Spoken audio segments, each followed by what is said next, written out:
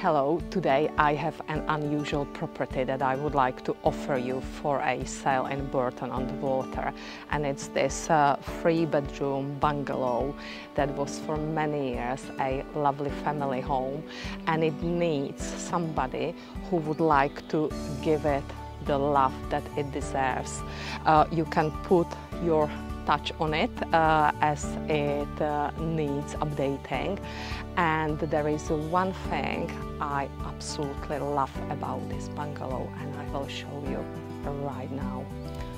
So here we go. This is what I really love about this property is the views from uh, the back garden and from the rear windows onto this amazing peaceful lake.